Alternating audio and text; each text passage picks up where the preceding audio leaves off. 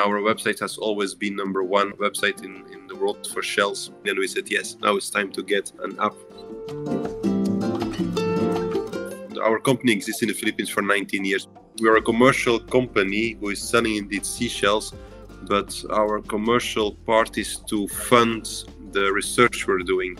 We looked a little bit around for companies who could make an, an, app for us, and it turned out to be all quite expensive, especially we needed something quite simple. We don't need to reinvent the wheel.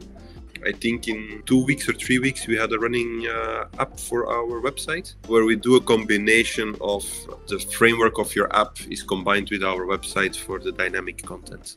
We have been using it quite nicely. We have a nice little app running and it's doing really its job. In the beginning, we got uh, like 10% of our visitors were already using an iPad or an Android or any smartphone. And then now, when we see the app, now it's about 30% of our visitors are coming through mobile uh, or tablet. So we're extremely happy with that.